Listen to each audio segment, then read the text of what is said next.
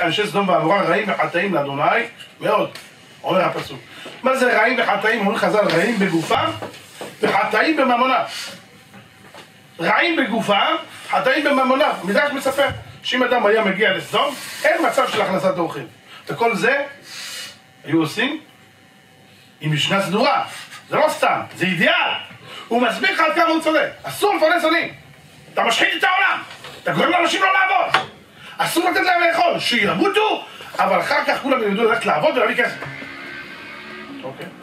איזה יופי. אז לכן מי שנותן כסף לעניים צריך להרוג אותו.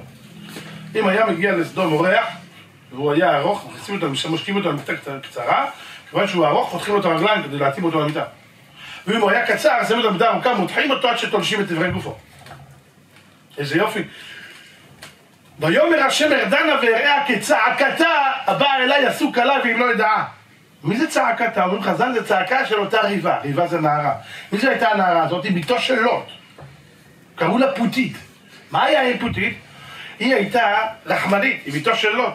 סך הכל גדלה בביתו של, בביתו של לוט, שהוא גדל בביתו של אברהם, שהוא ראה זה חסד אורחים והכניס את המלאכים. היא הייתה הולכת לשאוב מים, היא הייתה מחביאה בתוך הכד אוכל, והיה עני אחד שהיו נותנים לו מיטה לתת לו כולם אוכל. אנשי סדום היו עוקבים אחרי העניים לראות מתי הוא מת, כי אין אוכל. ואז ראו שהוא מת, היו נרגעים. רואים יש עני אחד, וואלה זה לא מת. כל פעם באים הוא חי. מי מאכיל אותו? עקבו ומצאו שזה ביתו של לוט. אתם יודעים מה עשו לה? תראו איזה רחמנים אנשי סדום ועמורה. לקחו אותה, מרחו את כל גופה בדבש, והכניסו אותה לתוך חדר מלא דבורים ועקצו אותה עד שמתה. זה אנשי סדום רעים וחטאים. והכל בשם החוק. משנתם סדורה להם. רבותיי, כשבאו אורחים ללוט, שזה היו מלאכים, ולוט הכניסו אותם הביתה, ואנשי סדום, ואנשי העיר, אנשי סדום, נסבו על הבית מנער ועד זקן. רבותיי, כל סדום מגיעים, אפילו ילדים קטנים, תראו איזה חינוך שורשי. איזה חינוך מדהים, אפילו ילד קטן, מה זאת אומרת? אורחים, בואו נהרוג אותם. טוב, לוט פותח את הדלת ואומר להם, אל נעך יתערב, אני מתחנף לכם. כי על כן באו בצל קורתי. הנה נא לי שתי בנות, שלא ידעו איש, הוציאה נא את עין עליכם, ועשו להם כטוב בעיניכם. תראו איזה מטורף. הוא מוכן להוציא את הבנות שלו בלבד שהאורחים יישארו בבית. אומרים לו, תגיד לי, גש הלאה. האחד בא, האחד בא בינינו וישפוט שפוט, אתה נרע לך מהם. אנחנו נהרוג אותך. אתה תשפוט אותנו? מי אתה בכלל? אתה תגיד לנו מה לעשות? המלאכים תפסו את לוט, הכניסו אותו הביתה, וסגרו את הדלת, ואת האנשים אשר פתח הבית היכו בסנוורים. אתם יודעים מה זה סנוורים? מכת עיוורון. מלאכים. כולם עיוורים. לא, כולם עוורים. וילאו למצוא הפתח. מה פירוש?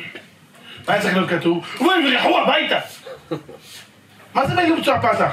תראו עד כמה האדם יכול להיות משוגע. הוא רואה שיש לו כאן עסק עם האלוקים. שהשם ייקח... כולם עיוורים? מה קרה? קיבלו עונש. מה הם מחפשים? את הפתח. עדיין רוצים להיכנס להכות את לוט, עדיין לקחת את האורחים. אתם מבינים עד כמה בן אדם יכול להיות משוגע? זאת אומרת שאדם יכול להגיע לכזה טמטום, לכזה אווילות, שאיך אומר שלמה המלך? אם תכתוש את האוויל במכתש, יודעים מה זה מכתשת? יש אלי ויש מכתש. יש את המכתשת, שזה החלק התחתון, שזה עשוי מ... מי שראה פעם, זה עשוי מ... מברזל כזה, איך זה נקרא? זה לא ברזל, זה מאוד מ... נחושת, ויש את האלי. אומר שאתה אומר, תכניס את האוויל, את הטמבל, תכניס את המכתש, תכתוש אותו, תוציא אותו, יישאר אותו טמבל. לא יעזור לך. אם תכתוש את האוויל במכתש, לא תסור היוולתו ממנו, יישאר טמבל. יש אנשים עד רגע זה אומרים, החמאס בסדר. יהודים. אתם מגזימים, זה רצח עם. תגידו לי, רבותיי, עד כמה אדם יכול להיות טמבל?